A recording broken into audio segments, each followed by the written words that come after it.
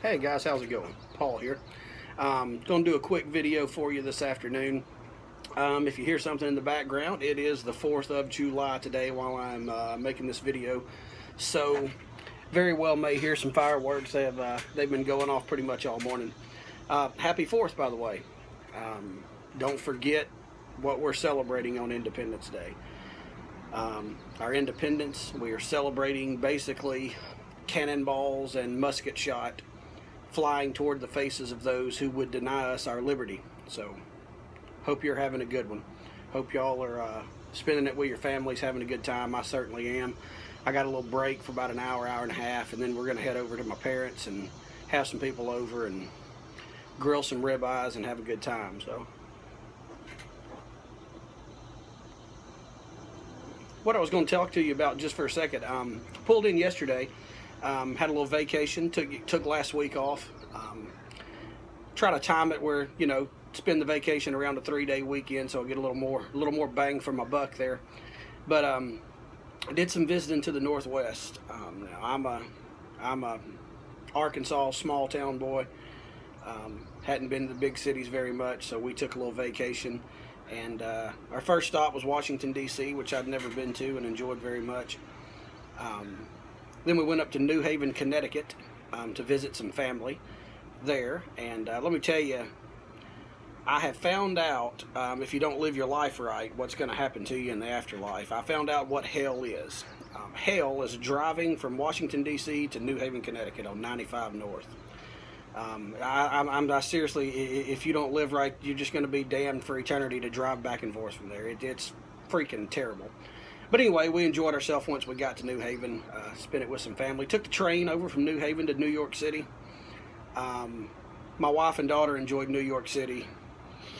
I don't know about me. I don't know if an Arkansas redneck needs to be in New York City. That that place, whew, didn't didn't care for it. But uh, anyway, we got up even further north, went up to Rhode Island and and uh, checked out the, some things there, the beaches there, the mansions on the beaches that the Vanderbilts and and uh, the Carnegies and all them built back in the day. Beautiful, beautiful. I think that was my favorite part of the trip was D.C. and Rhode Island. But anyway, while we were there, um, obviously me, um, one of my main things was I had to hit all the, pipe shops and the tobacco shops while we were up there and found some good ones. I want to tell you just a little bit about them if you ever travel that way.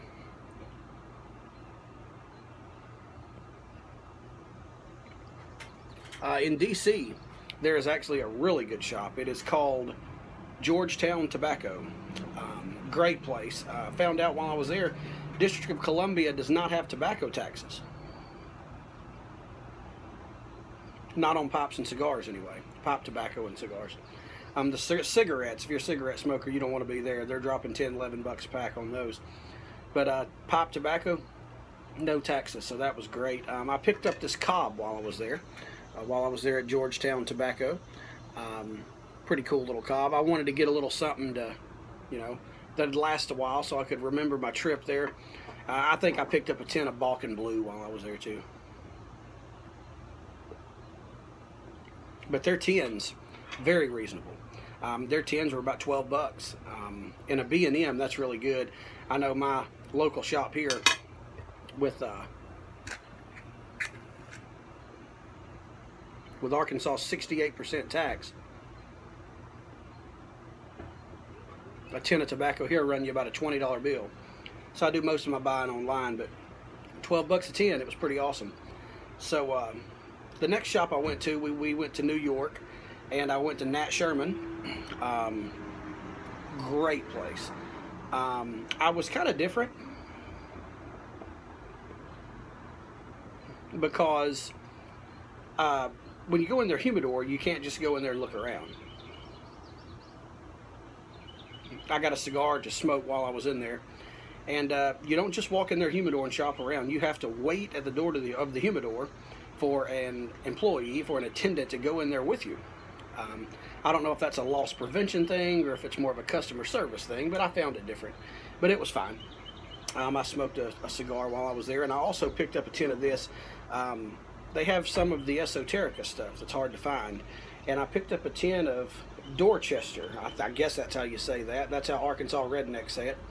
Um, it's a Virginia Perique blend. I'm a big fan of vapors, so I, I found an Esoterica vapor and decided to get it. Um, I didn't buy much there, just this tin and one cigar. Um, let me just tell you, it was it was substantially more than the tin of Balkan Blue I bought in DC. I don't know how much of that's their taxes and how much of that's just New York prices. Because I'll tell you, nothing's cheap in New York. Um, you, uh, if you've never visited New York City, let me just tell you, you'll drop a grand before you blink. I think we were only there two days. I think we spent 80 bucks on subway cards, and I mean it was it's just an expensive city. Um, go out for for for dinner and a beer is eight bucks, and I'm not talking about something fancy. I mean, Bud Light long necks was eight bucks, so I didn't didn't drink much of that while I was there. But you know, Nat Sherman was awesome, awesome place. Um, the shop I go to regularly here in Little Rock is just as well stocked as Nat Sherman, but uh, but Nat Sherman, that place is pure class. I mean, the carved mahogany, the leather, the I mean, it, it is an amazing place. And I'll tell you, New York City, um, they get a bad reputation about not being nice. We're big on Southern hospitality down here. But I'll tell you, we didn't run into a single rude person. And when I was in Nat Sherman, man, they, they were as nice as they could be.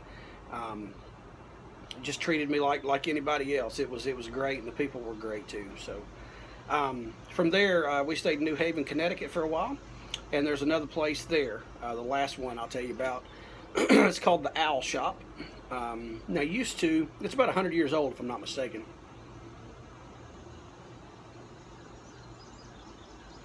And um, it used to be a cigar shop.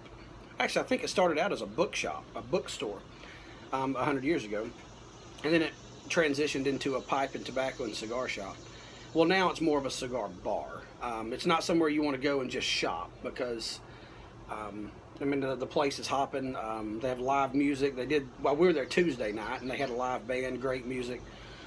Um, we enjoyed ourselves very much. I was there with three other guys. We were hanging out had a great time.